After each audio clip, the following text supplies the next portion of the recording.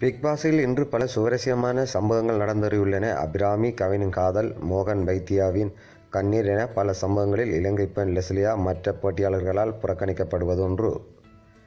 ஏற்கனவே பதினைஞ்சு போட்டியாளர்கள் உள்ளே பிக் பாஸ் வீட்டில் புதிய நபராக மீரா மிதுன் என்ற மாடலிங் பெண் இன்று நுழைந்தார்.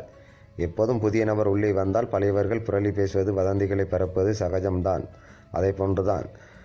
அப்படித்தான் மீரா உள்ளே வந்தவுடன் அபிராமியும் சக்சையும் புரளி பேச ஆரம்பித்தனர். ஆனால் இவர்கள் இருவருக்கும் இடையே இருந்த லெஸ்லியாவை இருவரும் கண்டுகொள்ளவில்லை. முதலில் லெஸ்லியா தான் விலகி போனாலும் அதன் பின் அபிராமி சக்சி அவருடன் பேச்சு கொடுக்கவில்லை. இதன் இதனால் இனிவரும் காலங்களில் லெஸ்லியா புறக்கணிக்கப்பட வாய்ப்புள்ளது. ஆனால் இந்த சம்பவத்தால் லெஸ்லியாவின் ஆர்மி படுவேகமாக பெருகி வருகின்றது இளைஞர்கள் மத்தியில்.